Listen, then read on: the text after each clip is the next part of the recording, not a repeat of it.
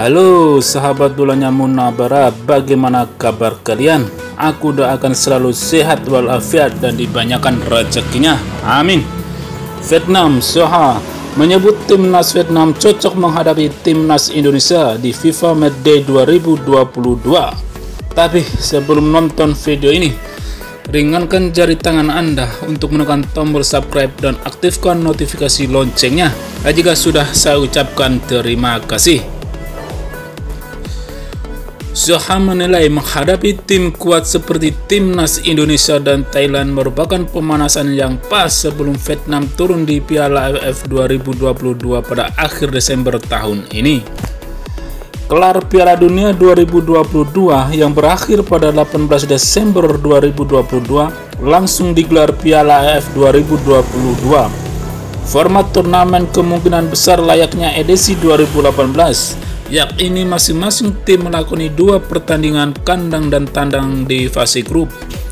Setelah itu, laga semifinal dan final juga digelar kandang dan tandang. Setelah FIFA Matchday Juni 2022, hanya FIFA Matchday September 2022 ajang bagi tim-tim peserta Piala AFF 2022 melakoni laga uji coba. Setidaknya pada FIFA Matchday September 2022, ada dua pertandingan yang bisa dilakoni.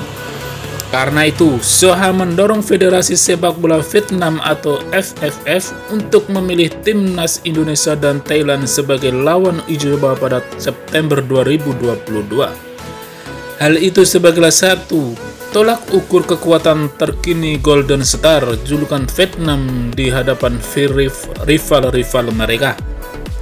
Jika Vietnam menghadapi lawan berkualitas seperti Thailand atau Indonesia pada September, itu merupakan hal yang bagus untuk Vietnam.